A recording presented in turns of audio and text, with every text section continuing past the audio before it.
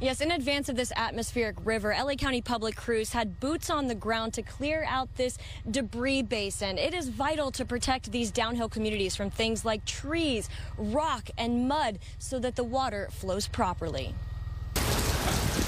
Super Soaker saturating SoCal. At the bottom of the Bobcat burn area, crews clear the Santa Anita debris basin ahead of another atmospheric river.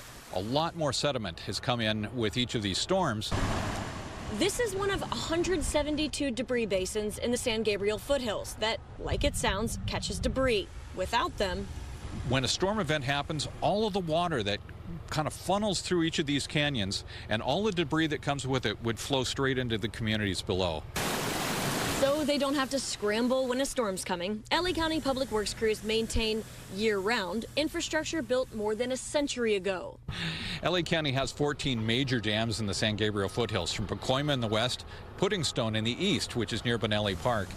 And at these dams, at the reservoirs, that captures a great deal of water like 20 billion gallons is held behind the dams and it's slowly released into the spreading grounds below so that we can maximize groundwater replenishment and create a third of LA County's drinking water supply from stormwater.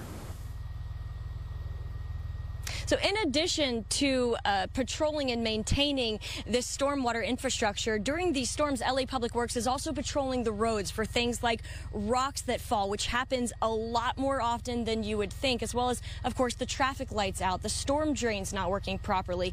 If you have any emergencies tomorrow, they advise you to call them and they will immediately come and fix it. The number is 800 675 HELP. Of course, it is for urgent needs, but that's what they are here to do in addition to maintaining and protecting this infrastructure from all of the debris that we see during these storms, especially these atmospheric rivers. All right, reporting live in Arcadia, I'm Haley Winslow, Fox 11 News.